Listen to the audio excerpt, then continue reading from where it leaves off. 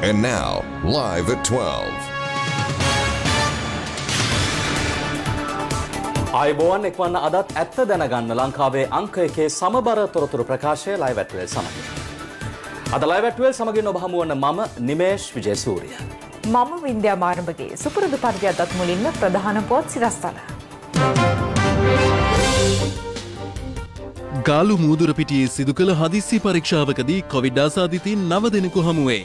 බස්නාහිරෙන් පිටවන්නන්ගේ පරීක්ෂාවලනුත් හැත්තෑ හතර දෙනෙක් වාර්තාවේ. ජනපති ගම සමග පිළිසඳරක් සිව්වන අදියර අද කැබිතිකොල්ලෑවේදී. කොළඹ ගොඩනැගිල්ලක් ජලයෙන් යටවී සේවකයෙක් මරුට. කහ පිලිස්සූ නිරෝධහයන මෙහිවුම. අන්තර්ජාලයෙන් බලා ගිනිියවියක් සෑදූ තරුණයෙක් බලපිටියේදී අත්තඩංගුවට COVID-19 වෛරසය e ආසාධනය වූ රෝගීන් හාරසිය හැට දෙනෙකු ඊයේ මෙරටින් වාර්තා වුණා. ඒ අනුව මෙරටින් වාර්තා වන සමස්ත ආසාධිතයින් සංඛ්‍යාව හතලිස් දෙදහසේ සීමාව ඉක්මවා ගියා. එමෙන්ම ඊයේ දිනේදීත් කොවිඩ් ආසාධිත මරණයක් මෙරටින් වාර්තා වුණා.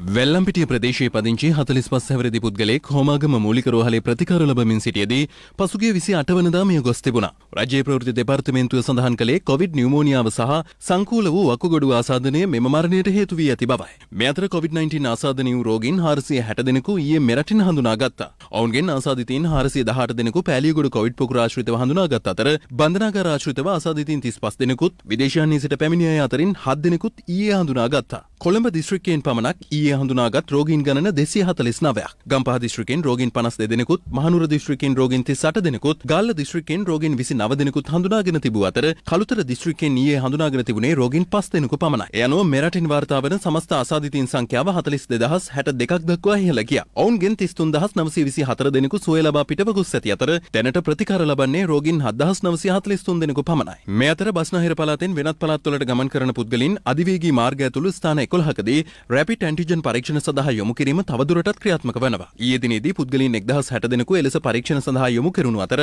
ඔවුන්ගෙන් 13 දෙනෙකු ආසාදිතයින් ලෙස හඳුනාගෙන තිබුණා. පසුගිය 18 වනදා සිට මෙම අහඹු පරීක්ෂණ සිදු කිරීම ආරම්භ කෙරුණා. ඒ අනුව මේ වන විට බස්නාහිර පළාතෙන් පිටව යාමට සූදානම් වූ පුද්ගලයන් 10986 දෙනෙකු රැපිට ඇන්ටිජන් පරීක්ෂණ සඳහා යොමු කර ඇති අතර ඔවුන්ගෙන් 74 දෙනෙකු ආසාදිතයින් ලෙස හඳුනාගත්තා.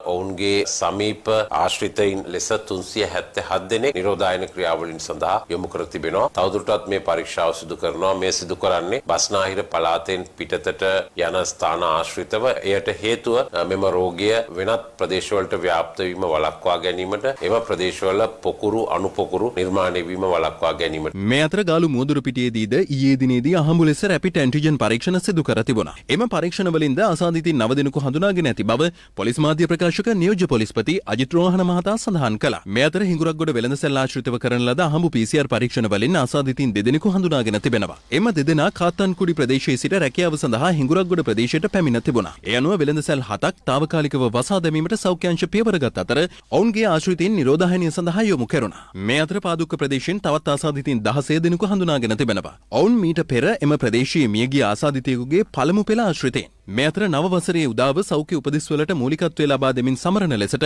සෞඛ්‍ය අංශ ජනතාවගෙන් ඉල්ලා සිටිනවා.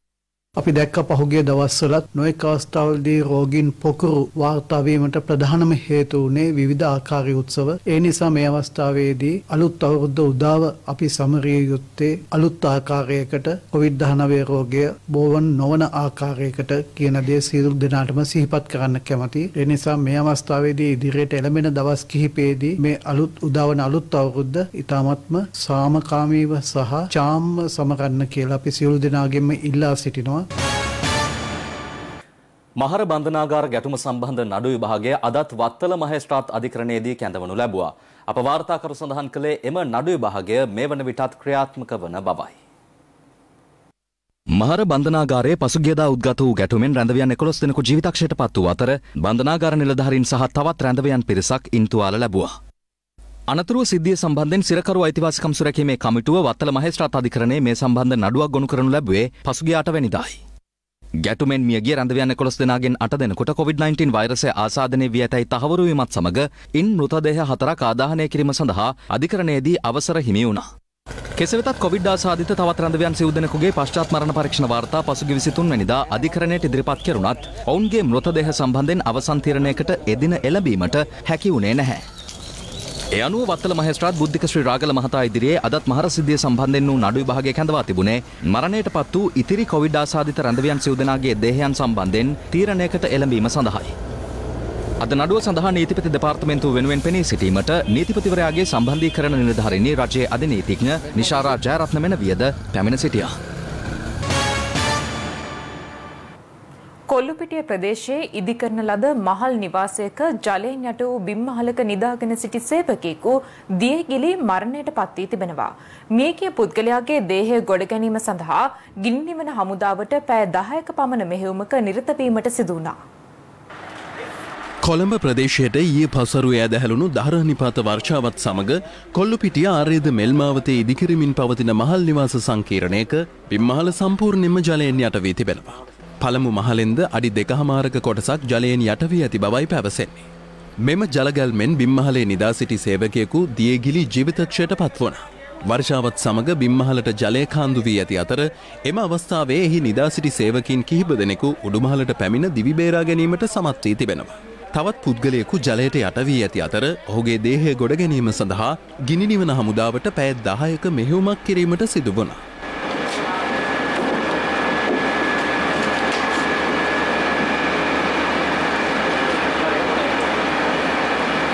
මෙසේ මරණයට පත් වී ඇත්තේ වැලිමඩ ඌව පරණගම ප්‍රදේශයේ පදිංචිව සිටි පනස් හතර හැවිරිදි පුද්ගලෙක්.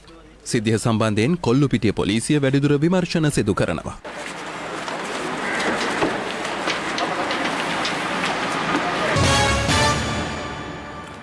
නීති විරෝධී ලෙස මුහුදු මාර්ගයෙන් මෙරටට ගෙන්නූ තවත් කහතොගයක් හුංගම කළමැටිය ප්‍රදේශයේදී සොයා ගැනුණා. පොලිස් බහරයට ගත් කිලෝ විසි එක්දහසකට අධික එම කහතොගය ගිනි තබා විනාශ කර තිබෙනවා. මෙරට වෙළඳපලේ කහහිඟයක් පැවතීම හේතුවෙන් ඉන්දියාවෙන් නීති විරෝධීව මෙරටට කහතොක ගෙන්වීම බහුලව සිදුවනවා. එලෙස ඉන්දියාවේ සිට බහුදින යාත්‍රාවකින් මෙරටට ගෙන්වා තිබූ කහ කිලෝ විසි එක්දහස් නවසියක් හුංගම කළමැටිය දීවරවරායේදී හුංගම පොලිසි විසින් අත්තඩංගුවට ගනු ලැබුවා. මෙම කහතොගේ සම්බන්ධයෙන් අඟුණු කළ පැලස අධිකරණයටද කරුණු වාර්තා කර නිසි අධීක්ෂණයක් යටතේ මෙම කහතොගේ ගිනි තබා විනාශ කිරීමට කටයුතු කරනු ලැබුවා. ඒ සඳහා සෞඛ්‍ය ආරක්ෂිත ක්‍රමවේදද අනුගමනය කෙරුණේ ඉන්දියාවේ කොවිඩ් පවතින ප්‍රදේශවලින් කහ තොග ගෙන්වා තිබූ බැවින්.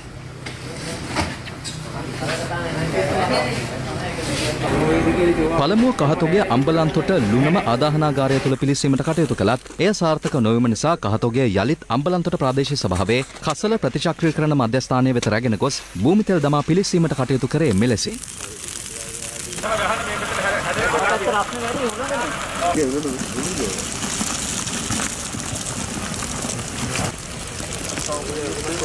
Ah. ජනපති ගමසමග පිළිසඳරක් වැඩසටහනේ සිව්වන අදියර අද පෙරවරුවේ ආරම්භ වුණා. ඒ කැබිතිගොල්ලෑව කණුගහවැව ප්‍රාථමික විද්‍යාලය කේන්ද්‍ර කර ගනිමින්. ජනාධිපති ගෝඨාභය රාජපක්ෂ මහතා ප්‍රමුඛ ප්‍රදේශයේ මැති ඇමතිවරු මෙන්ම රාජ්‍ය නිලධාරීන් සහ ප්‍රදේශයේ ජනතාවද ඊට එක්ව සිටිනවා. ජනාධිපති ගෝටාබේ රාජපක්ෂ මහතාගේ සංකල්පයක් අනුව ක්‍රියාත්මක ජනපති ගම සමග පිළිසඳරක් වැඩසටහනේ සිව්වන අදියර අද ආරම්භ වුණේ කැබිතිගොල්ලෑව කනුගහවව ප්‍රාථමික විද්‍යාලය කේන්ද්‍ර කර ගනිමි.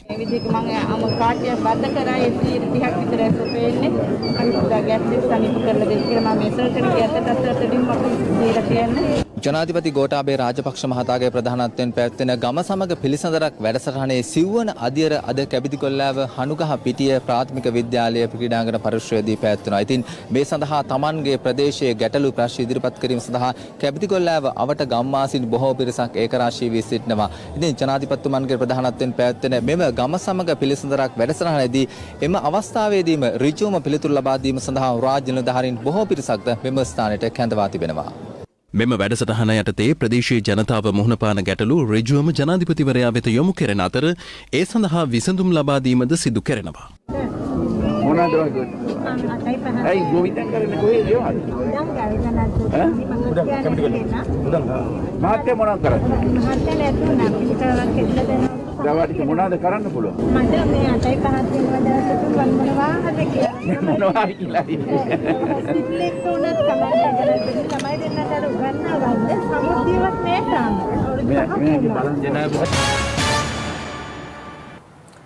මාවනැල්ල හිඟුල ප්‍රදේශයේ බුද්ධ ප්‍රතිමාවක ආවරණයකට හානි සිදු කිරීමේ සිද්ධිය පිළිබඳව පොලිස් කණ්ඩායම් කිහිපයක් පරීක්ෂණ ආරම්භ කර තිබෙනවා. මෙසේ හානි කර තිබුණේ කොළඹ නුවර ප්‍රධාන මාර්ගය අසල පිහිටි පිළිමයක ආවරණයට යොදා තිබූ වීදුරු ආවරණයකටයි. මෙම බුද්ධ ප්‍රතිමාවේ වීදුරු ආවරණයට හානි කර ඇති බව මුලින්ම දැක තිබුණේ ඊට මල් පූජා කිරීමට පැමිණි ප්‍රදේශවාසී කාන්තාවක්. ඒ අනුව පොලිස් පරීක්ෂණ ඊයේම ආරම්භ වුණා. පොලිසිය ඊයේ පැවසුවේ ගලකින් පහරදී බුදුකුටියේ ආවරණය කඩා දමා ඇති බවත් නිරීක්ෂණය වූ බවයි. මේ ස්ථානයේ තිබූ බුද්ධ ප්‍රතිමා වහන්සේට 2018 වසරේ කිසියම් පිරිසක් පහරදී සිරස කඩා දමා තිබූ අතර ඊට පසුවයි මේ නව බුදු පිළිමය තැන්පත් කර තිබුණේ. මේ අතර මාවනැල්ල ප්‍රදේශයේ ගල්වලක පුපුරුණ ද්‍රව්‍ය අතුරුදන්වීමේ සිද්ධිය පිළිබඳවත් පුළුල් පරීක්ෂණයක් ක්‍රියාත්මකයි.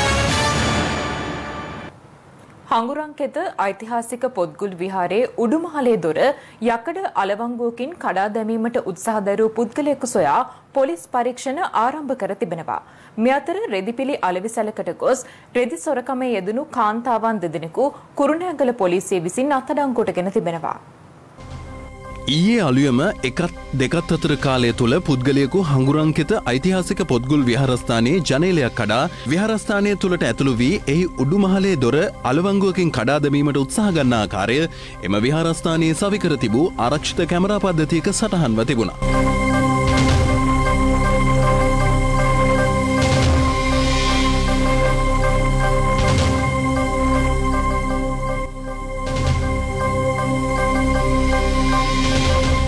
විහාරාධිපති රාජකීය පණ්ඩිත අබන්වැල්ලේ පඤ්ඥානන්ද හිමියන් මේ පිළිබඳව හඟුරංකිත පොලිසියට හා පුරාවිද්‍යා කොමසාරිස් ජනරාල්වරයා දැනුවත් කිරීමෙන් අනතුරුව පොලිසිය විමර්ශනාරම්භ කර තිබෙනවා. පිත්තල පාණ්ඩරවම තියෙන එකේ දොර ගලවලා තියෙනවා. ඒකේ ඉබ්බ දෙන්න ගලවලා එයා යනකොට කඩපු දොරක ඉබ්බෙක් ගෙනලා තද කරලා ගිහිල්ලා තියෙනවා. පොලිසිය පැවසුවේ මෙම විහාරස්ථානයේ වටිනා පුස්කොළ පොත් ගණනාවක් ඇද්දල කැටයම් රැසක් හා පිත්තල බහන්ඩ ගබඩාවක්ද පවතින බවයි. එම පුද්ගලයා විසින් විහරස්ථානයේ සියලුම ඉබියතුරු කඩාදමා කාර්යාල කාමරේද කඩා ඇති බවයි පොලිසිය වැඩිදුරටත් සඳහන් කළේ. හංගුරංකිත පොලිසිය පුරාවිද්‍යා දෙපාර්තමේන්තුවේ ලැබී ඇති තොරතුරු කිහිපයක් ඔස්සේ වැඩිදුර පරීක්ෂණ ක්‍රියාත්මක කර තිබෙනවා. මේ අතර රෙදිපිලි වෙළඳ සැලකට ගොස් රෙදි සොරකමේ යෙදුණු කාන්තාවත් තිදෙනෙකු සහ ඔවුන්ට උදව් කළ ත්‍රිරෝධරතර යෙදුරෙකු කුරුණෑගල පොලිසිය ඊයේ අත්අඩංගුවට ගෙන තිබෙනවා. කුරුණෑගල මීගමුව පාරේ ඉලුප්පු ගෙදර ප්‍රදේශයේ බතික් රෙදි අලෙවිකරන ස්ථානයකට පසුගියදා පැමිණි මෙම කාන්තාවන් තිදෙනාගෙන් එක් තැනැත්තියක් වෙළඳ සේවිකාවක සමඟ කතා කරමින් සිටියදී අනෙක් කාන්තාව රෙදි ඇසුරුම් කර ඇති ස්ථානයට ගොස් රෙදි සොරාගන්න ආකාරයත් වෙළඳ සේවිකාවකට නොපැනීම සඳහා අනෙක් කාන්තාව සාරියක් දිගහැර ආවරණය ලබා දෙන ආකාරයත් ආරක්ෂිත කැමරාවේ මෙලෙස සටහන් වී තිබෙනවා.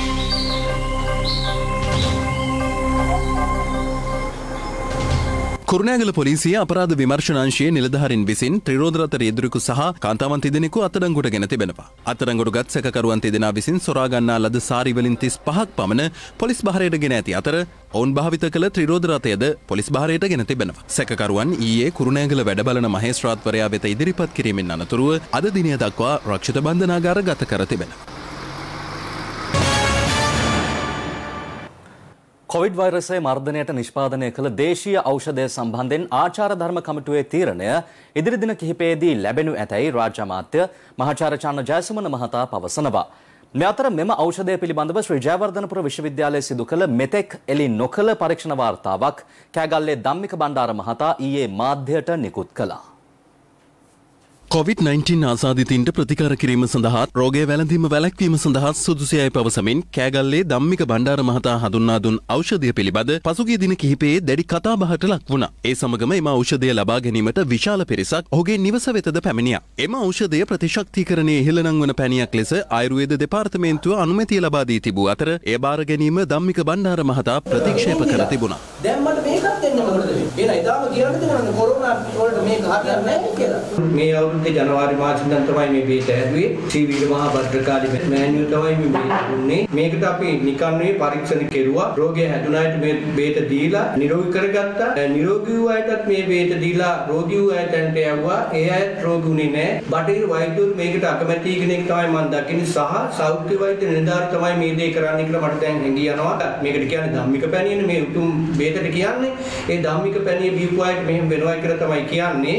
ඒ සමගම අදාළ ඖෂධය බෙදා හැරීම මේ වන විට තාවකාලිකව නතර කර තිබෙනවා. මෙම ඖෂධය පිළිබඳව ශ්‍රී ජයවර්ධනපුර විශ්වවිද්‍යාලයේ සිදු කළ මෙතෙක් හෙළි නොදැක් වූ පරීක්ෂණ වාර්තාවක්ද ධම්මික බණ්ඩාර මහතා මාධ්‍ය වෙත නිකුත් කළා. විද්‍යාත්මකව හොයාගත්ත දෙයක් තියෙනවා තව මේ පරීක්ෂණය කරලා තියෙන්නේ ජයවර්ධනපුර විශ්වවිද්‍යාලයෙන් මේක අපි එළියට දෙන්නේ නැහැ මාධ්‍ය තුලට මොකද එතුමලා ඉල්ලීමක් කරලා තියෙනවා මේක අපි තව ටික දවසකින් දෙමු රජයෙන් හොයන්න දුන්න දේ හෙව්වට පස්සේ කියලා. මේ අතර රාජ්‍ය අමාත්‍ය චන්න ජයසුමන මහතා මෙන්ම දේශීය වෛද්‍ය රාජ්‍ය අමාත්‍ය සිසිර ජයකොඩි මහතාද මෙම ඖෂධයේ පරීක්ෂණ සම්බන්ධයෙන් මෙලෙස අදහස් පළ කර ලංකාව තුළ මේ ආකාරයේ පර්යේෂණයක් මීට පෙර සිද්ධ වෙලා නැහැ. ඒක නිසා ඒ සඳහා අලුත්ම ක්‍රමවේදයක් සකසා ගන්න සිද්ධ වුණා කොහොමද මේ බෙහෙත පර්යේෂණයට ලක් කරන්න කියලා. අවසානයේට අද අපි ඇවිල්ලා සිටිනවා. අප හිතනවා අද ඕ හෙට දිනේ ඇතුළත ඒ ආචාර්ය ධර්ම කමිටුවේ තීරණය ලැබෙයි කියලා. දේශීය ඖෂධ 37ක් අපි හොයා බලමින් යනවා. කොරෝනා වසංගතයට මුහුණ දෙන්න සුදුසුයි කියලා ඒ සෑම දෙයක් පිළිබඳව අපි අධ්‍යයනය කරනවා. මෙම දේශීය ඖෂධය සම්බන්ධයෙන් රජයේ වෛද්‍ය නිලධාරීන්ගේ සංගමය සහ සමස්ත ලංකා රජයේ ආයුර්වේද වෛද්‍ය නිලධාරීන්ගේ සංගමයද අදහස් පළ කළා.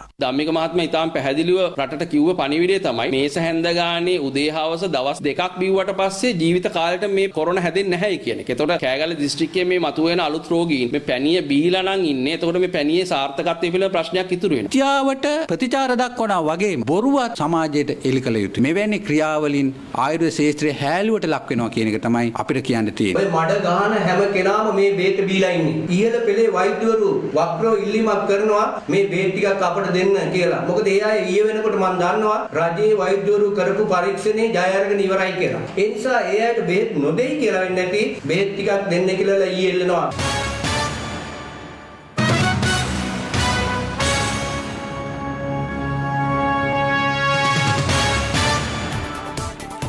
මෙන්න අප වෙත දැන් ලැබුණු පුවතක්. යුක්‍රේනයේ සිට මෙරටට පැමිණි පළමු සංචාරක කණ්ඩෑමේ සිටි පුද්ගලයන් තිදෙනෙකු COVID-19 ආසාධිතයින් බවට හඳුනාගෙන තිබෙනවා. නියෝජ්‍ය සෞඛ්‍ය සේවා අධ්‍යක්ෂ ජනරාල් හේමන්ත හේරත් මහතා පැවසුවේ ඊයේ පැවැත් වූ PCR පරීක්ෂණවලදී මේ තිදෙනා COVID ආසාධිතයින් බවට හඳුනාගත් බවයි. මෙම යුක්‍රේන සංචාරක කණ්ඩායම ඉකුත් විසි අටවැනිදා ශ්‍රී ලංකාවට පැමිණියේ නවතා තිබූ සංචාරක කර්මාන්තය නැවත නංවාලීම සඳහා ක්‍රියාත්මක කළ වැඩසටහනේ පළමු කණ්ඩායම ලෙසයි. මෙන්න නැවතත් එම පුවත. යුක්‍රේනයේ සිට මෙරටට පැමිණි පළමු සංචාරක කණ්ඩායමේ සිටි පුද්ගලයන් තිදෙනෙකු කොවිඩ් ආසාදිතයින් බවට හඳුනාගෙන තිබෙනවා. නියෝජ්‍ය සෞඛ්‍ය සේවා අධ්‍යක්ෂ ජනරාල් හේමන්ත හේරත් මහතා පැවසුවේ ඊයේ පැවැත් වූ PCR පරීක්ෂණවලදී මේ තිදෙනා කොවිඩ් ආසාදිතයින් බවට හඳුනාගත් බවයි. මෙම යුක්‍රේන සංචාරක කණ්ඩායම ඉකුත් විසි අටවැනිදා ශ්‍රී ලංකාවට පැමිණියේ නවතා තිබූ සංචාරක කර්මාන්තය නැවත නංවාලිම සඳහා ක්‍රියාත්මක කළ වැඩසටහනේ පළමු කණ්ඩායම ලෙසයි. ඒ සමගින් මේ සූදානම කෙටි විරාමයක් ලබා ගන්නට.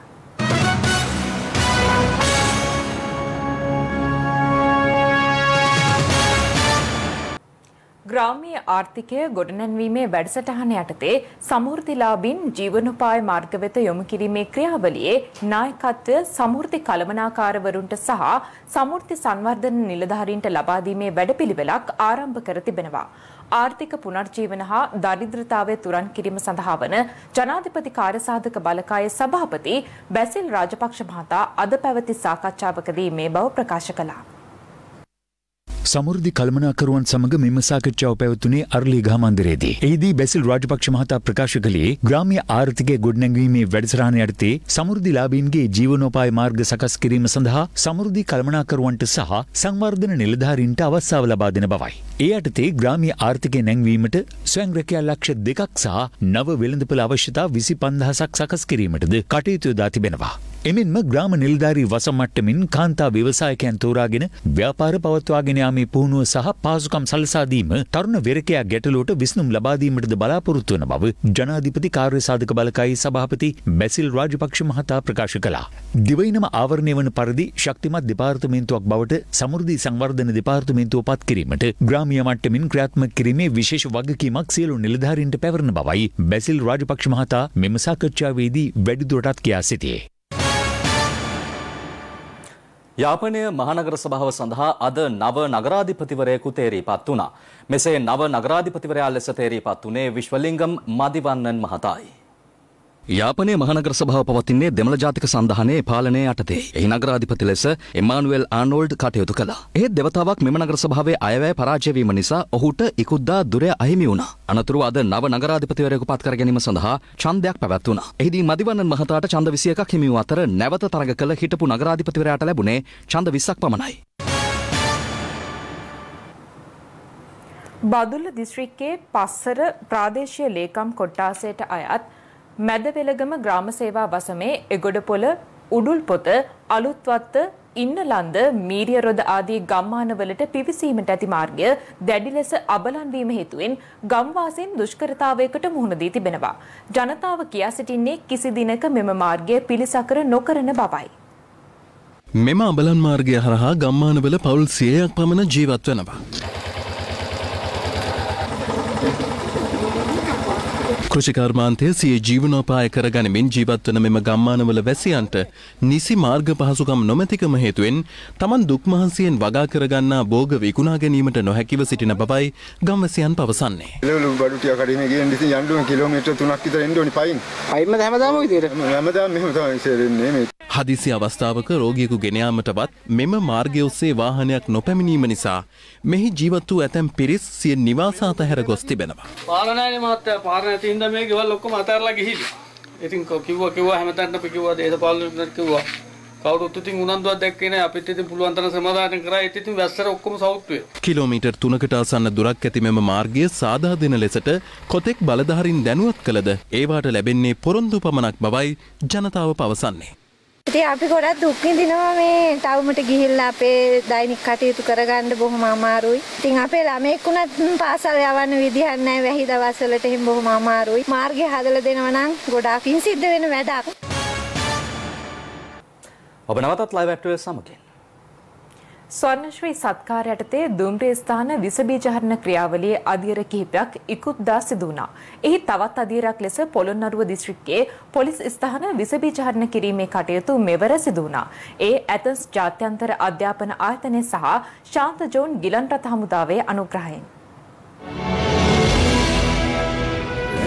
ස්වර්ණශ්‍රී සත්කාර තුළින් පොලිස්ථාන විසබීජාරණයට ලක්කිරීමේ කටයුතු මෙවර සිදුවනේ පොළොන්නරුව දිස්ත්‍රික්කේ. ඒ යටතේ පොළොන්නරුව පොලිස් බල ප්‍රදේශයේ පොලිස්ථාන නවයක් පළමු අධීර යටතේ විසබීජාරණය කිරීම සිදු වුණා. මේ සඳහා ඇතැන්ස් ජාත්‍යන්තර අධ්‍යාපන ආයතනයත් ශාන්ත ජෝන් ගිලන් රොත හමුදාවත් ස්වර්ණශ්‍රී සත්කාර සමඟ එකතු වුණා.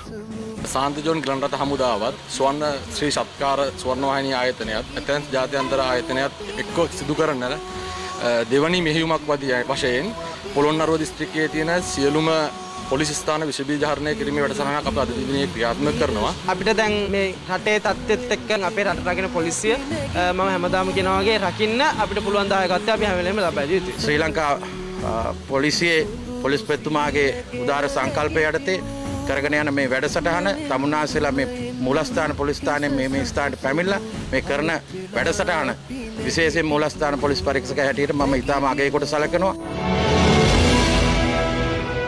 එසමගින් ලයිව් ඇට්ටුවේ අදට අවසන් සුබ දවසක්.